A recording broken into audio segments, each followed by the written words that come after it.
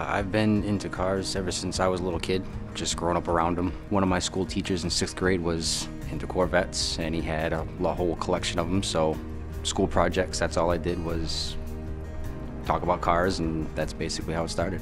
Chevy is, they make really good cars. It's high quality.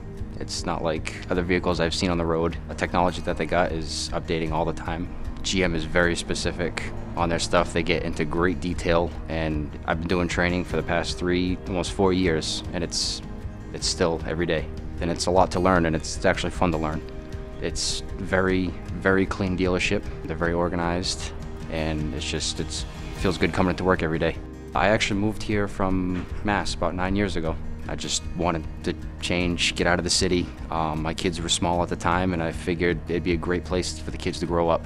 It's like night and day. Middlebury being a small little town, um, they do have a lot. They have art shows, they have music festivals, winter, snowboarding, um, taking my kids going tubing and stuff. I've taken them to a couple mountains so far, and um, they, that's I taught them how to ski and snowboard. Okemo and Killington. Those are the two that I found to be the best around here. My daughter picked up snowboarding quick. Um, my son was more skis because he feels more balanced with two instead of just one. Summertime, there's a lot to do. We go fishing, swimming, kayaking, quads, going on trails, all kinds of stuff. I took them to a nearby lake, Fern Lake, when we first moved up here. Just, you know, they were going to catch little sunfish and stuff, but they had a blast. And then now they're moving up to bigger fish now that they're getting bigger. It's, it's just exciting.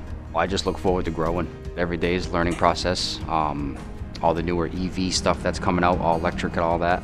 There's already courses online and stuff that we're, we're, we're going through and uh, hands-on stuff.